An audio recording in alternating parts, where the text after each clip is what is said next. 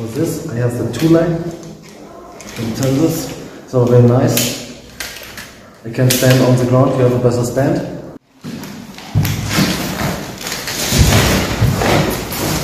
And I have a very good stand but when you shoot. Your weapon don't um, swing. You have to protect the target and you can shoot.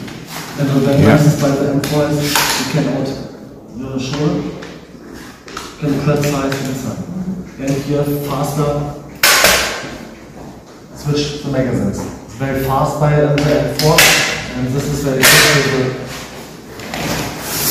for heavy fights in Ukraine, weil wir haben ja hier in Ukraine in the streets ja heavy fights. It's ist ja not so in Afghanistan, um, 1, 10 or 12 minutes and the Taliban get back. Um, here is it, we fight 2, 3, 4, 5, 6 weeks for the town or longer, we see in Mariupol. Um, then is this better? Perfect, I think.